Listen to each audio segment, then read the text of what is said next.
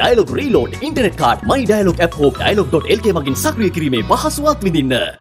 තෙල් පිරිපහදුව නවත්තලා තිබුණා සපුගස්කන්ධ. මේවා සදාකාලීනව ආයේ අලුත් වැඩියා කිරීමේ අවශ්‍යතාවයක් නොපෙනෙන බව තමයි අපට තේරෙන්නේ. මොකද යන ක්‍රමවේදයේත් එක්ක දැක්කම මේ සියල්ල අකර්මණ්‍ය වෙලා මේවා වෙනත් වැඩපිළිවෙලක් සඳහා යොදවා ගැනීම සඳහා තමයි කරු නියෝජ්‍ය කතානායක සූදානම් වෙන්නේ කියන කාරණේ පේන. උදාහරණ සහිතව කිව්වොත් අපි දැක්ක නැගෙනහිර ජැටිය සම්බන්ධව මහා විශාල ආందోලනයක් කෙනකොට අවසානයේ බටහිර ජැටිය දීලා තිබුණා. හරි සූක්ෂම ලෙස ඒ කටයුතු කරන ඔබ නෙවෙයි. ඔබ ඔබ නොවන බව අපි ඒක දන්නවා. ඒ වගේම අපි දැක්කොත් පොහොර ප්‍රශ්නේ. පොහොර ප්‍රශ්නේ පොහොර ගේන්නේ නැහැ ගේන්නේ නැහැ කියලා දැන් කලුකඩ කාර්යයන්ට පොහොර ගැනීම සඳහා අවසර ලබා දීම සඳහා සූදානම්ව තිබෙනවා. ගෑස් ප්‍රශ්නේ අපට දකින්නට සිද්ධ වෙන්නේ මේ ගෑස් අර්බුදය නිර්මාණය කරලා තියෙනවා. යම්කිසි දවසක තව ඉදිරි අනාගතය අපිට දැනගන්න පුළුවන් මේක කරන්න බෑ මේක විය යුතු නැහැ මේක පිරිය වැඩි වෙයි මේක කාට හරි දිය යුතුයි කියලා. එසේ වගේම මේ සපුගස්කන්ධ තෙල් පිරිපහදුවක නැවත වතා මම දන්නවා ඔබතුමා ඉන්නකම් මේක සමහර වෙලාවට කරන්න ඉඩ නොදේවි. නමුත් ඔබට තිබෙන බලපෑම් අනුව නොවේවි කියලා විශ්වාස කරන්නත් බෑ. සමන් අහන්නේ කරු ඇමතුමාගේ වගකීතු ඇමතිවරයෙක් ඇටියට කරන්න බෑ මේවා පරණයි මේවා නුසුසුදුයි කියලා විදේශ රටකට විකිණීමක සූදානමක් තියෙනවා. මොකද අද බැසිල් රාජපක්ෂ මුදල් ඇමතුමා ඉන්දියාවටත් ගිහිල්ලා තියෙනවා. මේ ගණ දිනුවටද එහෙම නැත්නම් වෙනත් ගණනකටද දන්නේ නැහැ. සපුගස්කන්ධ පිරිපහදුව වසර 52ක් පරණයි.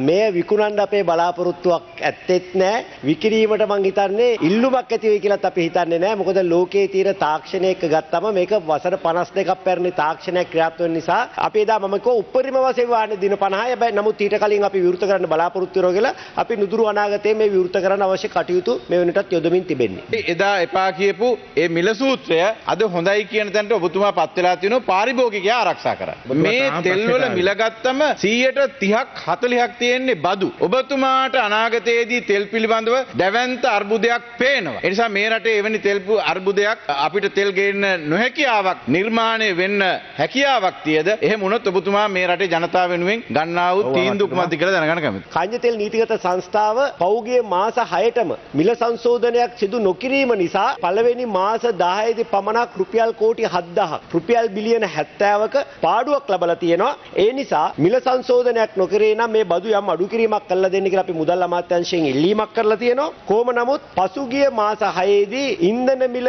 වැඩි නොකළ ලොව එකම රට ශ්‍රී ලංකාව කියන එකත් මේ ගරු සභාවට මම දැනුම් දෙන්න කැමතියි.